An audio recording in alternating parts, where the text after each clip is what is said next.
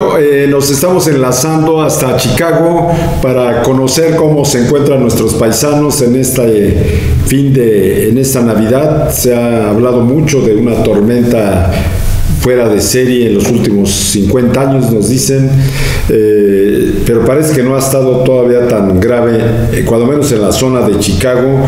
Estamos saludando a Maite Ruiz, quien es una líder social allá en Chicago, de la comunidad hispana en Chicago, junto con toda su familia, sus hijos, su esposo, que han trabajado en clubes de Michoacán en Chicago. Buenas noches, Maite buenas noches, ¿cómo estás? Un saludo a ti y a tu audiencia. Gracias, pues queremos eh, conocer de viva voz para todos los que estamos acá y que tenemos muchas familias en Chicago. Se hablaba de una tormenta tremenda por allá. Eh, ¿Cómo han estado desde ayer, hoy y cómo se pinta para mañana?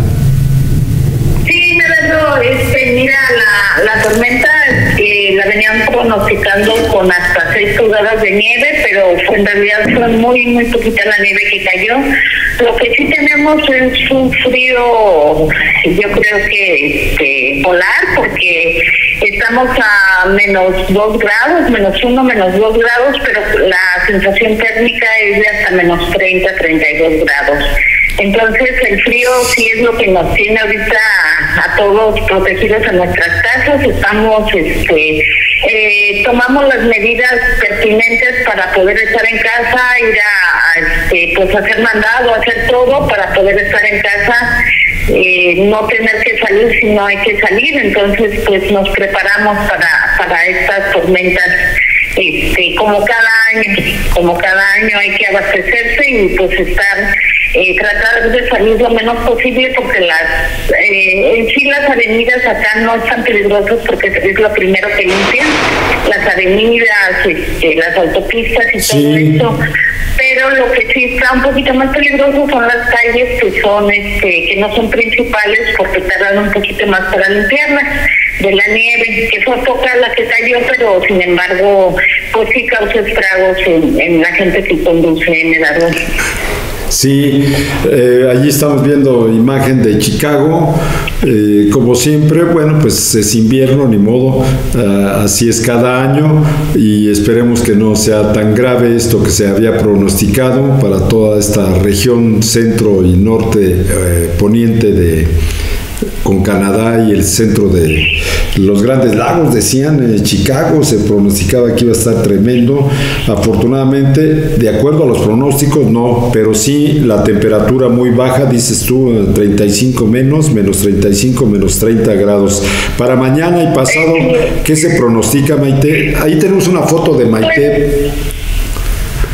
¿Qué se pronostica? Eh, pues sube un poquito la temperatura, pero pues de todos modos ya está frío, es un frío muy, muy, muy penetrante. Lo que pasa es que está corriendo mucho viento, Medardo, eso hace que la sensación térmica sea más baja en la temperatura. Entonces, este, eso es lo que estamos este, ahorita sintiendo, pues aquí los habitantes del, del medio oeste en el norte de, de Illinois, lo que es este um, Wisconsin, eh, Minnesota, sí tienen grandes, este, otros muchos estados sí tienen grandes cantidades de nieve. Afortunadamente no no cayó tanto aquí, no fuimos tan afectados. Este, afectados exactamente pero este por la sensación térmica que tenemos sí es bastante fría, Medardo. Así es. Vamos a poner la... Este, adelante, adelante, adelante.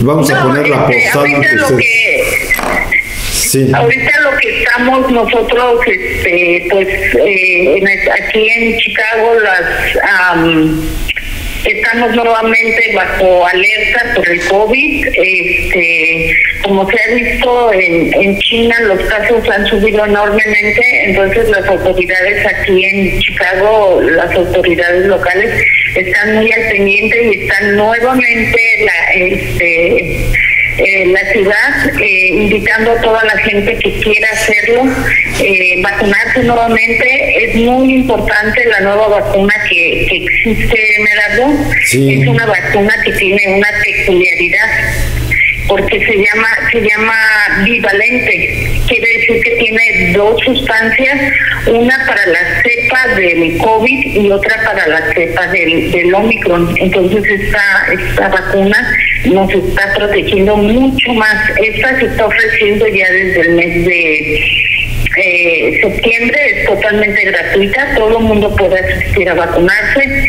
Y ya pues también estando ahí en los lugares de vacunación, que puede ser alguna farmacia de su preferencia o cualquier este su clínica, pues también pueden tomarse la, la vacuna de la influenza, que también es muy importante por, estos, por estos fríos tan fuertes que tenemos, ¿verdad? Así es. Bueno, eh, qué bueno, ojalá llegue a México la bivalente y este, porque pues está trágica la cosa en China, ¿no?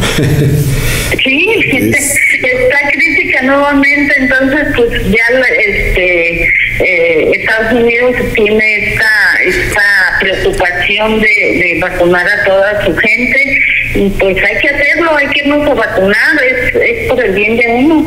Así es. Por otro lado, está sigue trabajando allí Casa Michoacán, eh, Maite. Sí, estamos, estamos eh, eh, ahora involucrados en, en un este, colectivo transnacional de morelianos, entonces este, ahorita estamos trabajando en, en ello, estamos dándole, eh, eh, pues, tratando de hacer información para nuestros connacionales, Meraldo.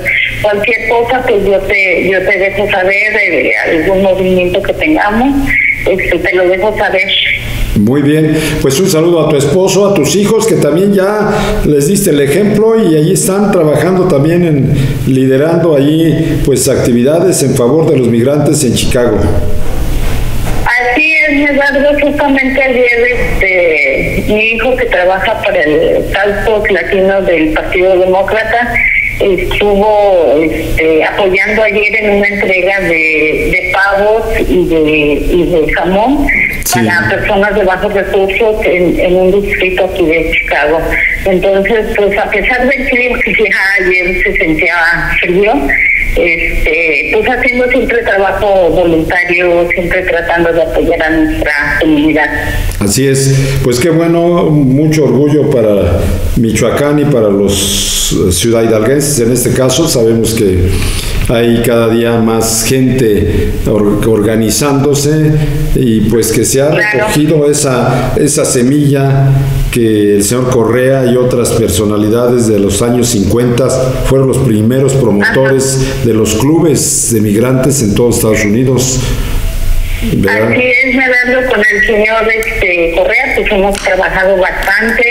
ellos empezaron, como dices tú, más bien en los 60, finales de los 60, ellos empezaron con un club de fútbol y bueno, pues este eh, después hicieron un club este, migrante y bueno, porque ha trabajado con ellos también.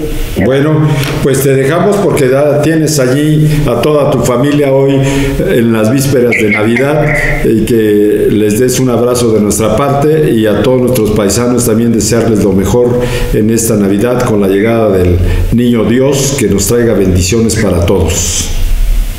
Gracias, Melado, te agradezco la llamada y bueno, pues un abrazo para ti y este, un saludo cordial para toda tu audiencia. Y pues esperando que los nacionales que nos escuchan de este lado pues vayan a vacunarse, es importante y bueno, igualmente un abrazo, feliz Navidad y, y pues esperamos vernos pronto, Melado. Gracias, Maite, como siempre y nuevamente que Dios los bendiga a todos ustedes y a todos nuestros hermanos migrantes en Estados Unidos. Gracias, Marando. Buenas noches. Buenas noches. Bueno, pues desde Chicago, ahí estamos viendo escenas de esta noche